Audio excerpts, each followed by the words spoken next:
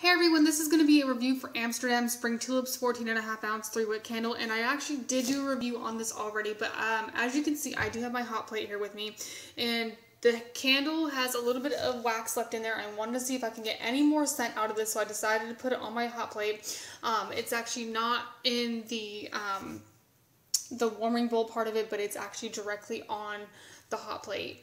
Um, now it's on a scale of 1 to 10, 10 being the best, 1 being the worst. It's probably about a 5 or a 6 on the scent throw.